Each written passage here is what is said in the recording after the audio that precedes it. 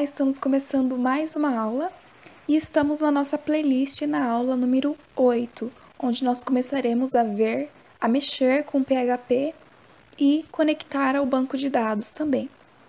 Então, hoje nós faremos a classe usuários com as funções construtor, a função cadastrar e a função logar, certo?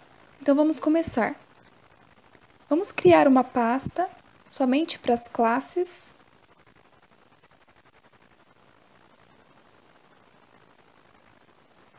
E dentro da classe vamos criar um arquivo, dois arquivos.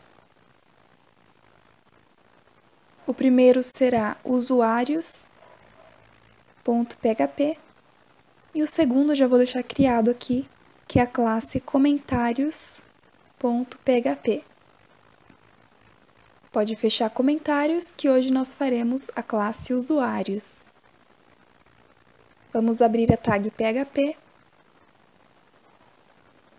class, e vamos chamar de usuário.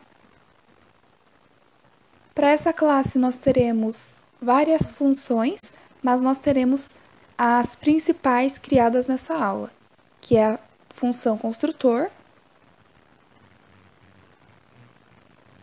a função cadastrar e a função logar. Vamos começar pelo construtor. Então, public function underline underline construct. Nós já vimos em outras aulas, é a mesma coisa. Então, nós teremos aqui alguns parâmetros que é o parâmetro dbName, que é o nome do banco de dados, o host, o usuário e a senha.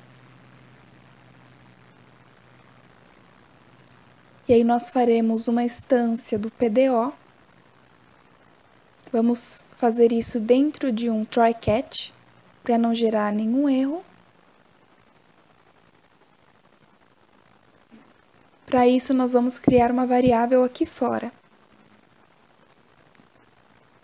Uma variável privada, PDO.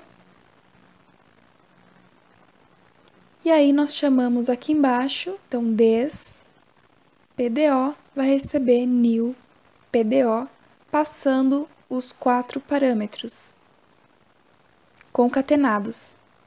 Então, o primeiro parâmetro será o dbName, a gente escreve MySQL, dois pontos, dbName é igual a variável dbName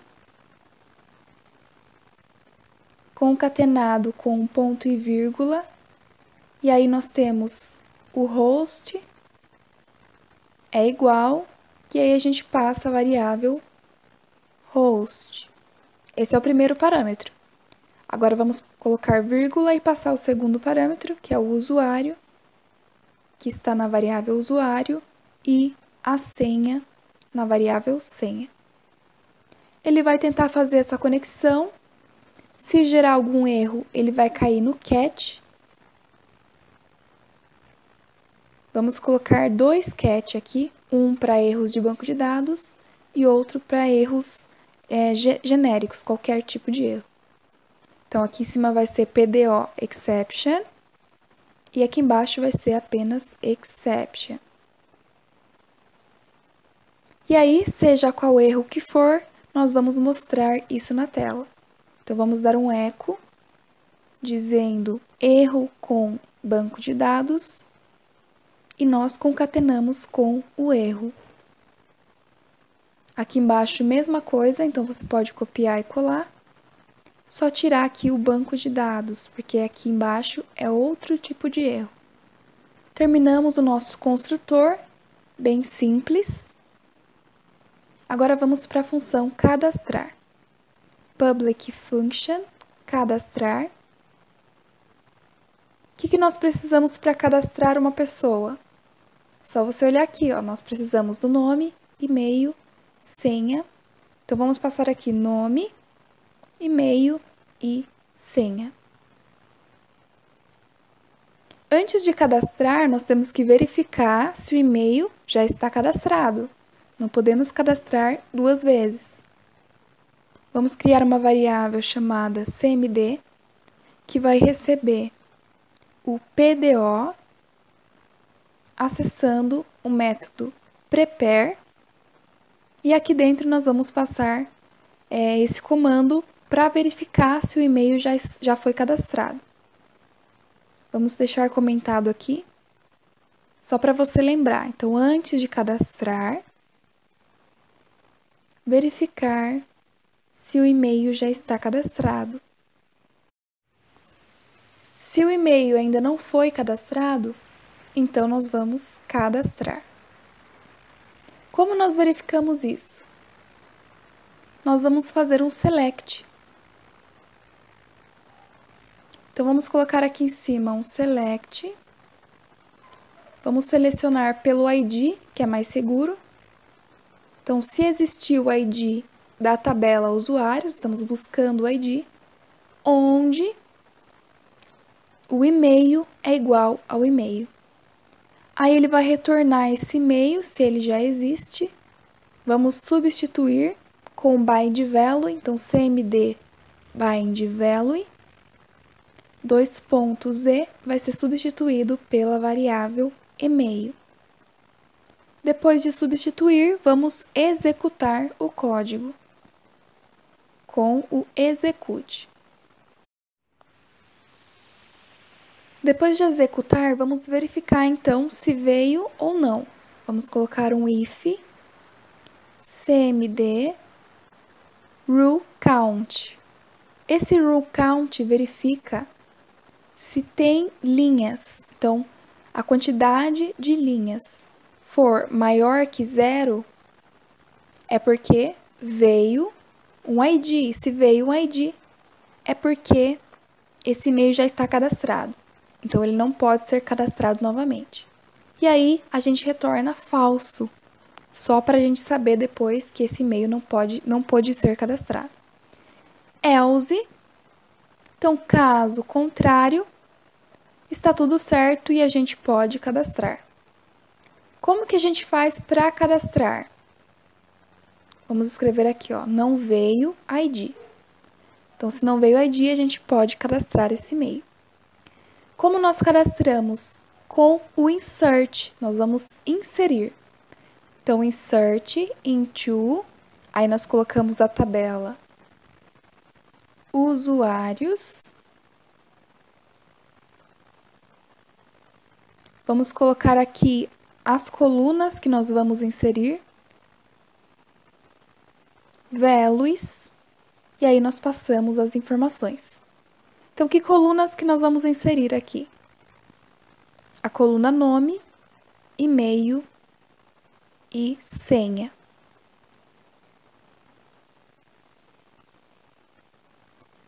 Values, eu vou colocar dois pontos N, dois pontos E, dois pontos S. E aí vamos substituir com o bind value, como você já viu,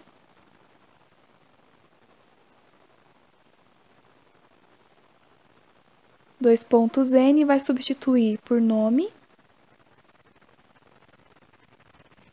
e-mail e senha. No caso da senha, nós temos que utilizar a criptografia MD5. Você pode passar diretamente aqui embaixo. E aí é só executar. Como já foi executado, retornamos true. Então, aqui em cima retorna falso, porque não pôde ser cadastrado, o e-mail já está cadastrado. E aqui embaixo retorna true, porque não tinha o e-mail e foi cadastrado tudo certinho. A nossa função cadastrar nós terminamos. E agora vamos para a função logar. Então, public function vamos chamar de entrar. Como nós fazemos para entrar? Nós precisamos do e-mail e da senha, né?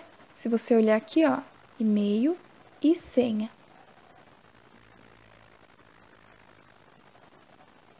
Então, vamos passar como parâmetro. E aí, para a gente poder logar, nós temos que buscar, ir lá no banco de dados, fazer um select para buscar esse e-mail e a senha exatamente como a pessoa digitou. E aí, se for encontrado, a gente vai fazer uma ação. Caso contrário, nós vamos é, retornar falso, não vamos poder fazer essa ação. Então, vamos aqui criar uma variável CMD, que vai receber a variável PDO, chamando o método prepare. Vamos fazer um select. Então, select o que, que nós queremos? O e-mail e a senha, mas eu vou colocar aqui todas as colunas.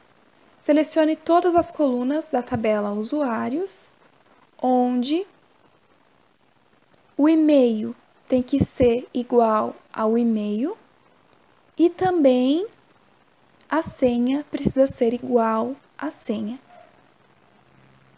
Vamos substituir com byte value e vai ser substituído pelo e-mail.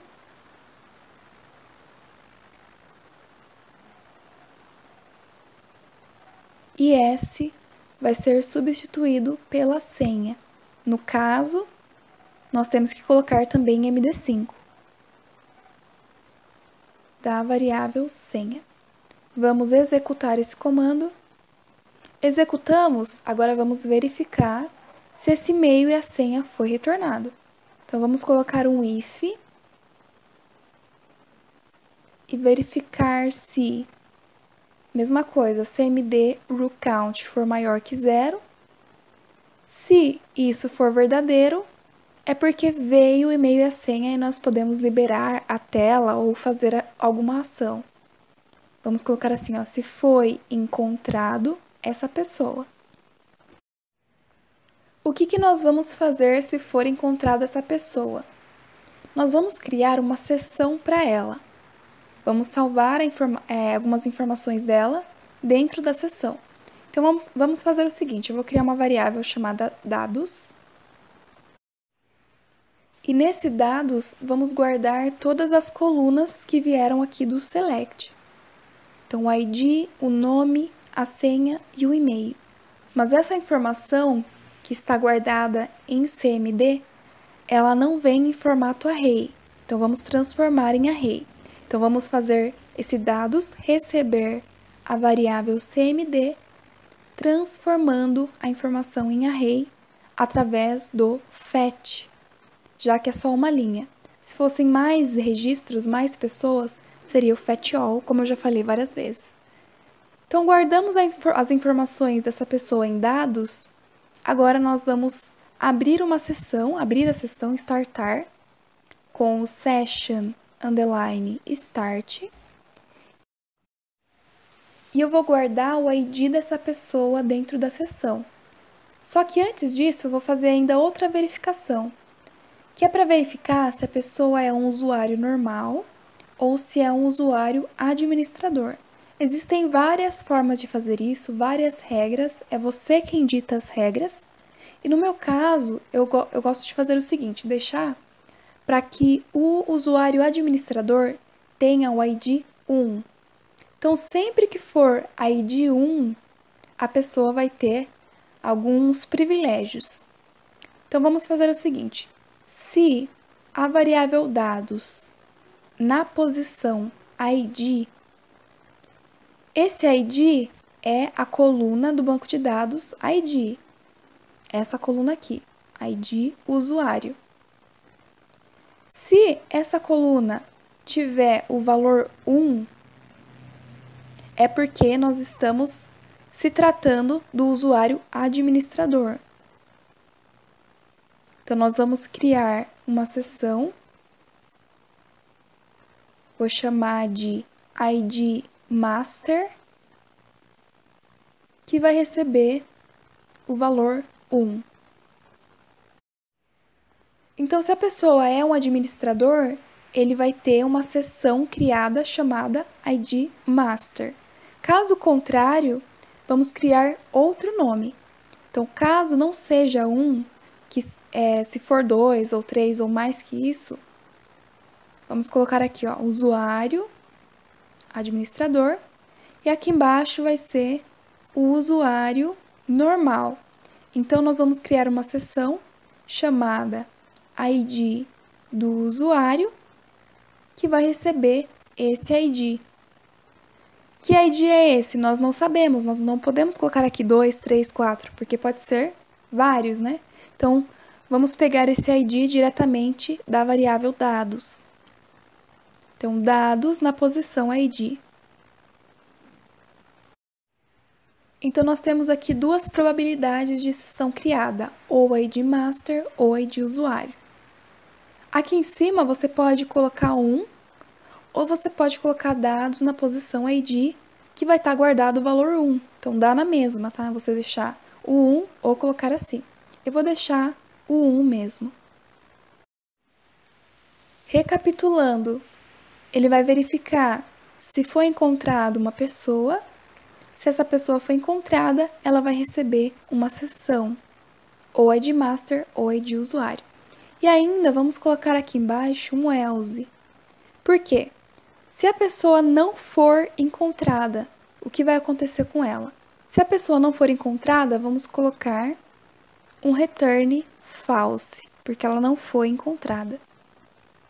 Então, essa função vai retornar ou falso ou verdadeiro. O verdadeiro a gente coloca aqui em cima. Depois de ter criado, passado pelo if, nós vamos retornar true. Se retornou verdadeiro é porque foi encontrada, como eu já falei. Caso contrário, ela não foi encontrada. Então, nós temos aqui o nosso construtor, a função cadastrar e a função entrar prontas.